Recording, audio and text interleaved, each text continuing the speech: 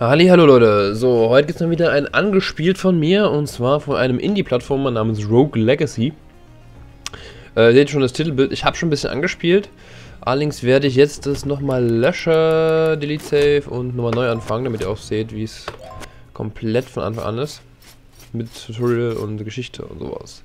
My duties are to my family.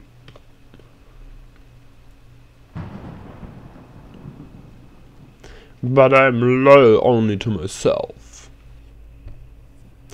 So, ab hier darf ich übernehmen. Das ist sozusagen jetzt ein Spiel von. Ja, das ist ein Spiel von, von Zeller Duo Games, glaube ich. Kostet auf Steam irgendwie 13 Euro, 14 Euro, 12 Euro, keine Ahnung, irgendwas in Dreh, kurz unter 15 Euro. Ähm, vielleicht im Summer Sale ein bisschen weniger. Das ist jetzt der Tutorial. Ich kann also ihr seht schon, das ist ein Plattformer halt ganz normal. Ich kann hier rumspringen. Ähm, es gibt später auch noch Geheimgänge, alles mögliche. Hier ist, wie gesagt, Tutorial. Kann ja alles kaputt hauen und da Gold rausdroppen. Ähm, der ganze Kniff daran ist, und die Sachen kaputt hauen und Gold aufsammle. Ähm, das werde ich dann auch zeigen. Also erstmal ist es hier ein ganz normaler, auch mit Magie und so. Später habe ich schon, naja, bin ich noch Level 0. Ähm, bam, bam. So, also, ja, ihr seht, ein schöner, nee, 8-Bit. Irgendwie schon 8-Bit. Hatte ich mit besserer Musik. 8-Bit an die alten Klassiker angelehntes Spiel. Ja, ich kann gar keinen Schaden nehmen hier im Tutorial. Ähm, ich mag sehr, denn ich bin jemand, ich habe noch Sonic zum Beispiel gespielt, auch wenn Sonic nicht so viel mit den Kämpfen zu tun hat, aber auch mit Geheimgänge finden und so und ja, Sachen finden. Ich habe das alte Sonic auf dem Sega Mega Drive oder sowas ich damals noch in, in der im Hort gespielt. Lange, lange Zeit. Ja. Ähm. Uh, ja, leider bekomme ich das Gold nicht, was ich hier im Tutorial spiele. Ähm, es gibt hier unterschiedliche Attacken, es gibt natürlich auch diese nach unten Attacke, die aber bloß, wenn der jetzt natürlich das treffen muss. So, da kann man hier auch springen. Ähm, es ist viele Geschicklichkeitsübungen bei den ganzen Sachen dabei. Also, ich werde wahrscheinlich hart failen an vielen Stellen. Bam, bam, bam. So, hoch. Und deswegen verzeiht mir das. Also ich werde auf jeden Fall auch relativ schnell sterben. Uhu. Hm, ist die To-Attack. Ich habe den König attackiert. Hm. So, Enter, Start Your Legacy. So, ich bin hier jetzt gerade am Anfang, so vor der Burg. Moment. Vor der Burg und hier ist bloß ein Trainingsdummy. Bam, bam, bam, bam, bam, bam, bam, bam.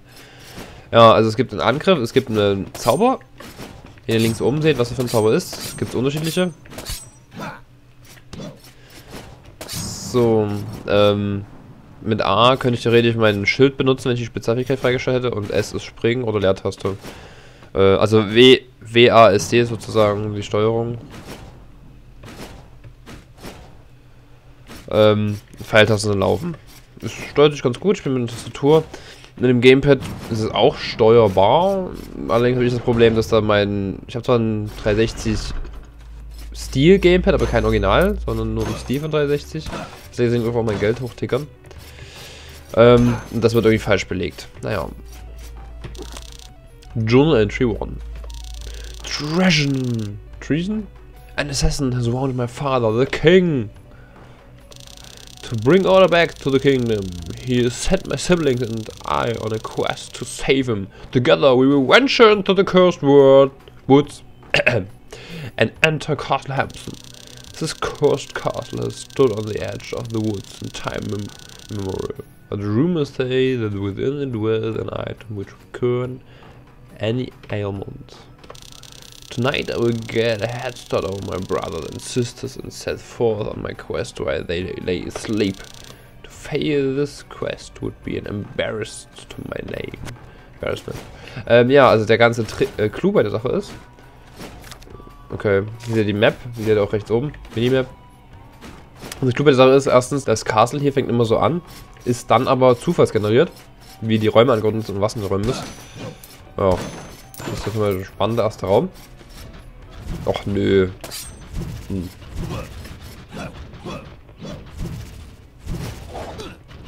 Hm, mal gefailt. Doppel. Achso, ich kann mir. Ja, schon, kann ich mir da drauf stellen. Triffst du mich nicht? So. Ähm, ja, das ist schon, ich bin schon aus jetzt draufgegangen. Ole. Weil ich unfähig bin wahrscheinlich. Da muss man ein bisschen vorsichtig sein. Oh. Um das möglichst schadensfrei hinzukriegen. Oh, 100 Gold. Das ist schön. Am Anfang sind 100 Gold ganz schön viel. Huch. Wie ihr seht, muss man ein bisschen aufpassen. Wow. Und da ist ein Stachel, die aus dem Boden kommt. Wow.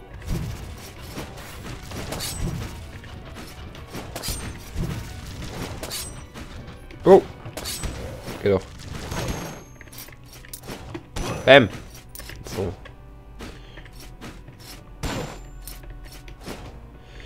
Oh, oh. Und schnell weiter. Ups. Oh, dann ist hier ein Bildschild. Ähm, ja, ihr seht schon, es gibt unterschiedliche Gegnertypen. Aua, ich habe noch vier Leben. Vier, vier, vier. Ah, und tot. Keine Ahnung, wie ich an die rankommen soll, wenn die von unten kommen. Das ist, das haben wir schon ein paar Mal gekillt. Ja, but use man to kill enemies and to take unnecessary damage. Ja, schön. Ähm, so, jetzt seht ihr übrigens den ganzen Spaß daran. Nämlich, wenn einer meiner Helden, oder mein Held stirbt, wo habe ich eigentlich Legendary Knight? Mein, keine Ahnung. Also, wenn einer stirbt, kann ich hier die Kinder aussehen, um das fortzusetzen, den ganzen Spaß. Ja, und hier seht ihr auch, welchen Zauber der dann jeweils hat. Das ist ein Mage, der hat so eine starke Zauber. Zauber. Ähm, und ihr seht auch rechts immer noch so besondere Sachen. Zum Beispiel Aiden, you remember things with extreme clarity. Colorblind, you can't see. Ja, das werdet gleich sehen, was da passiert. So, jetzt bin ich hier in meinem, meiner Burg sozusagen, mein Burgausbaubildschirm. Da komme ich immer rein, nachdem ich einmal gestorben bin. Und ich habe hier rechts unten 50 Gold zum Anloggen. Ich habe 230. Bam! Burg Nummer 1. So, also man kann sich immer ausbauen und das bleibt auch über die Charaktere erhalten. Also wenn einer stirbt, muss dann nicht neu anfangen. So, ich kann jetzt zum Beispiel mein Leben noch ausbauen. Oder 180. So, und dann kann ich auch mein, mein Knight, ja, kann ich direkt mal upgraden. Da habe ich dann auch meinen, jetzt ist ein Paladin, jetzt kann ich blocken. So, dann gehen wir hier rein und jetzt seht ihr schon, ich bin farbenblind und so, ne? Welcome, welcome hero. Maybe you can help me. I used to be the greatest blacksmith in all lands, but one day the monsters of this castle attacked my smith and stole all my blueprints. Without those blueprints, I can only make cutlery and stuff. Cutlery? Cutlery and stuff. Please bring back any blueprints you find, and I can build the most made equipment ever. At a price, of course. So, jetzt habt ihr das Menü von dem sozusagen. Ich habe hier ein Schwert, hier so ein Neuer Helm. Sonst habe ich noch gar nichts frei. Doch, hier. Da. Also man kann es freischalten, indem man halt diese, wie angesprochen, gerade diese Blaupausen zurückbringt. Und da steht er tot. Immer wenn ich dann wieder reingehe in das Castle. You one must pay the toll. Give Sharon all of your money under the castle. Muss ich halt all mein Geld abgeben. Ich kann das später noch skillen, dass ich ein bisschen weniger abgeben muss, aber das ist irgendwie 5% weniger, die ich abgeben muss. Das ist, weiß nicht, das lohnt sich glaube ich nicht für das, was ich da investieren muss. Bam, bam, alles kaputt machen. Ähm. Stopp. Da, übrigens, wenn das so anfängt zu wackeln, wenn ich in die Nähe komme, dann ist es ein verzaubertes. Ähm, es gibt auch Geheimgänge. Wo ist der jetzt gestorben? Huch. Huch. Ja, oh, ich kann ihm nicht ausweichen. Meine Güte, ich krieg's nicht hin, mit dem Ding zu arbeiten. Äh, mit dem Ding zu, zu kämpfen.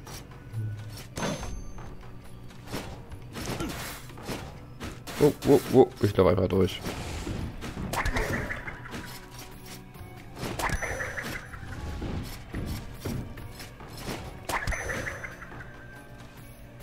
Gibt, könnte es vielleicht irgendeinen Weg reingeben, wenn man kleinwüchsig wäre, oder? Wo, wo, wo? Nee, gibt gar keinen Weg rein. Hm. Schade, wie kriegt man halt so was hier das Gold? Gar nicht? Toll. Bam. Bam. Also ich habe schon ein bisschen gespielt, ich weiß ungefähr, wie ich manche Gegner besiege. Noch nicht alle. Stirb, stirb, stirb. Wow. Oh. Au. Ah, au, fuck. Ah. Dass ich hier drauf gehe, habe ich nicht dran gedacht. Äh, ja, also ihr seht schon, wie das ganze Spiel funktioniert und da gibt es dann auch jede Menge Geheimgänge noch und Kisten, wo man Zeug finden kann. Ähm, ja, man kann alle noch mehr Klassen freischalten später. Hier zum Beispiel habe ich jetzt einen Knave, Risky Hero. Die kriegen alle später noch, wenn man die aufrüstet, eine besondere Fähigkeit. Äh, ich würde wieder die normale Klasse nehmen. Ja, 100. Ja, kann ich mal meinen mein Mana noch erhöhen. Ja, das ist alles so. 24 übrig, die muss ich halt dann wieder loswerden. Hat er für 120 Gold. Also so läuft das alles ab. Ich finde das sehr spannend, sehr spaßig und vor allem halt wieder direkt immer drin und nimmt einfach den nächsten und los geht's wieder. Bam, bam. Dann finden später auch noch andere Journaleinträge. Wow. Ach Mann, ey, gib mir. Gib mir den Sack.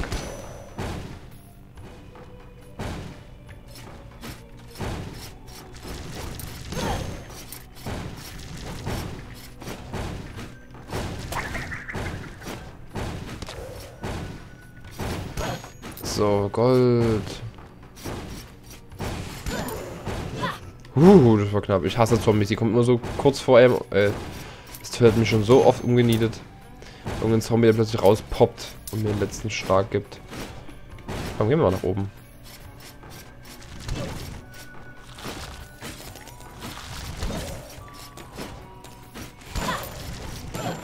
Stirb, Motherfucker. Oh, wow. Aber sie können übrigens durch Wände krassen, wie ihr gerade. Durch, also durch, durch dünne Wände. Huch. Essen.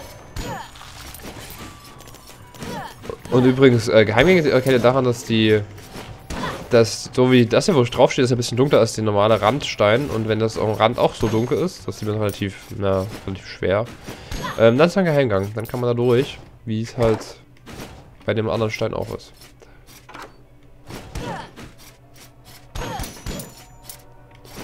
Weiß ich nicht, ob ich einen finde, wahrscheinlich nicht. Oh. Und ein Paranoid, was diese kleinen Bilder hier angeht. Fängt wirklich an jedes Bild zu hauen. Weil halt diese Bilder auch Gegner sein können.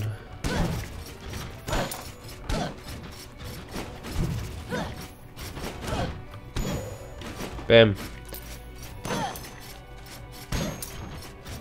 Wow. Ja, wie das das mal wieder. Einen umbringen können. Drecksbild. Oh, Mann, das ist so schnell. Und kann so gut seinen Weg ändern. Ich dachte am Anfang, das fliegt im Kreis, aber macht's halt nicht. Das ist übelst nervig. Ja, also es war eigentlich schon alles so, was es jetzt so zum Spiel zu sagen gibt. Man kann das immer schön, kann auch später noch Architekten und Verzauberer freischalten und so. Ja, es ist alles, alles sehr spaßig. Es gibt da lustige, lustige Trades sozusagen. Ich habe nicht herausgefunden, was der Trade Gay bedeutet. Gigantismus bin ich halt größer, aber was der Trade Gay bedeutet, habe ich nicht herausgefunden. Naja, also das ist alles, was ich euch erstmal über das Spiel so jetzt von meiner Sicht aus sagen kann, so direkt. So, was nochmal hier freischalten? So, jetzt habt ihr hier auch, genau, Enchantress und Architekten. Der sorgt dafür, dass mein, mein Dungeon gleich bleibt, aber kriege ich ja bloß 60%.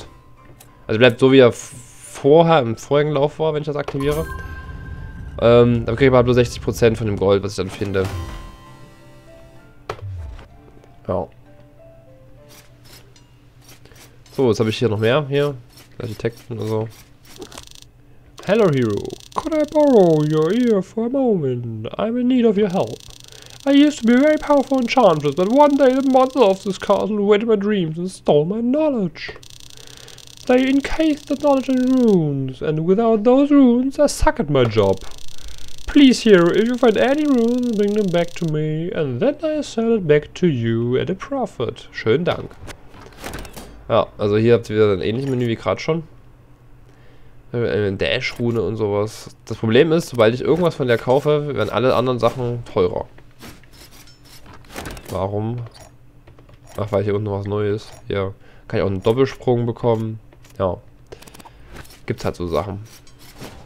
Übrigens, oben seht dass ich Level 7 bin. Tada. Das Level hat zwar nicht so eine wahnsinnige Bedeutung, aber was soll's. Das weiß nicht, ob es irgendwie... Ich weiß eigentlich nur, wie lange du gespielt hast und wie weit du schon rausgekommen bist aus dem... Ein anderer Zauber. Bam! Oh, au. Das ist natürlich gemein. Das, mit Farbenblindheit sehe ich nicht mehr das genau. Bäm.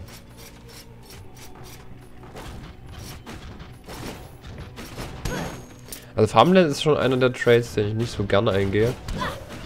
Geht's zwar noch. Es gibt ja auch einen, wo du irgendwie komplett auf dem Kopf bist. Au. Stirb.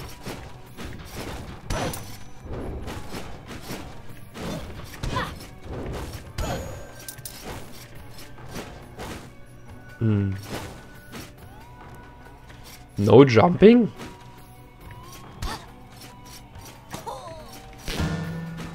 Hä? Ich werde denn gehen? Ich komme dann, wenn der nicht hochgestellt von dem... Äh, ah, da musst du, musst du Leichtgewicht haben an der Stelle, okay. Also es gibt Sachen, die kann man halt wirklich nur lösen, wenn man entsprechende Fähigkeiten hat.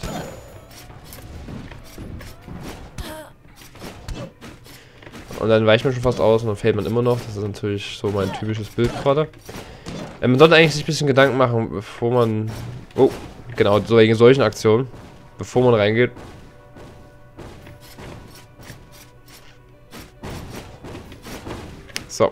Uh, da habe ich sogar einen neuen Journaleintrag noch gefunden. Journal Entry Number 2. Although I'm the eldest child, I'm not my father's favorite. I've always known he planned to leave me with nothing. But if I find the cure, everything will change. The victor will earn nothing less than the throne upon his passing.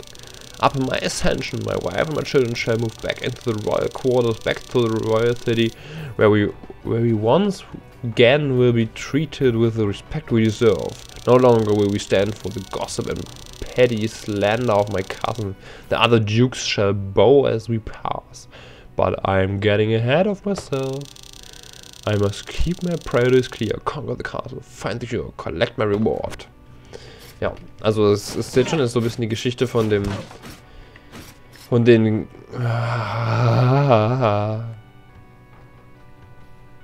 Ich mag solche Sprungsachen gar nicht.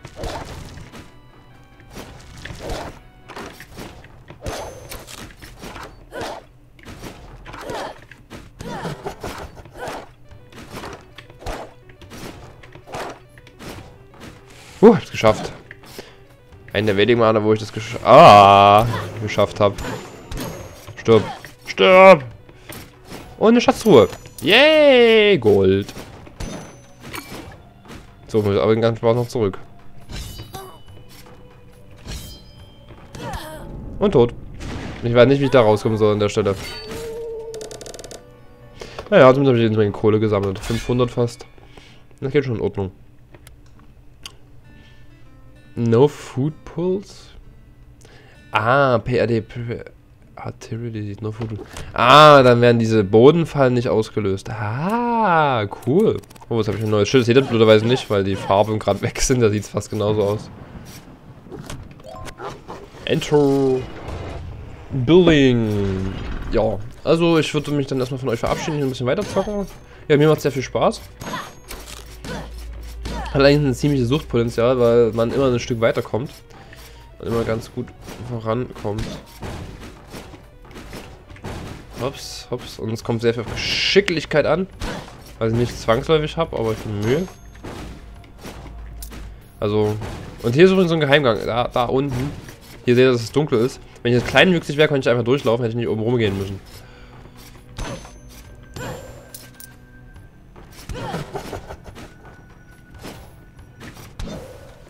Geht doch. Mal ohne Schaden rausgekommen. Puh. Knapp. Ja, also ich würde mich dann von euch verabschieden. Ich zeug hier weiter, mache noch ein paar Gegner kalt und freue mich, dass ihr zugeschaut habt. Bis bald. Tschüss.